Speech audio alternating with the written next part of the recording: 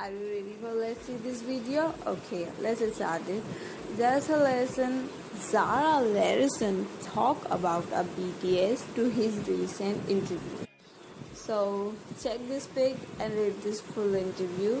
And I'm not, you know, I'm not read this interview because it's just using a fucking word. So this reason I don't like to connect with fucking word with you know BTS. So I'm not speak. Just read this uh, Zara Larsson interview.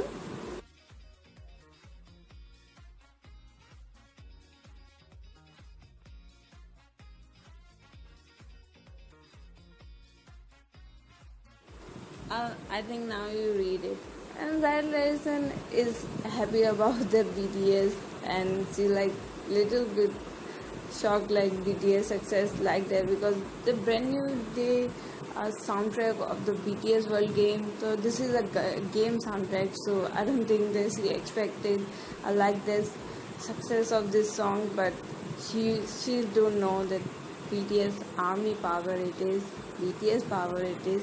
I think she realized now, and there's reason she said about like that to BTS.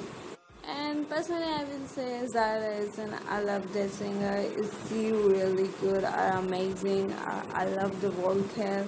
I love that singing of her, Zara Larsson. I just love the personality of them, and she talented singer. I love that BTS doing a collab with Zara Larsson and this brand new day. Just the song is really good. The J-Hope and Zara Larsson. It's just surprising track to I don't think any army expected that BTS collab with Zara because we are never see a Zara with BTS any pick of them. I don't think we see it. So this is a surprising songs for all of army. Yeah, this is really surprising song. But I love the su surprise that BTS give us and thank you for watching this video.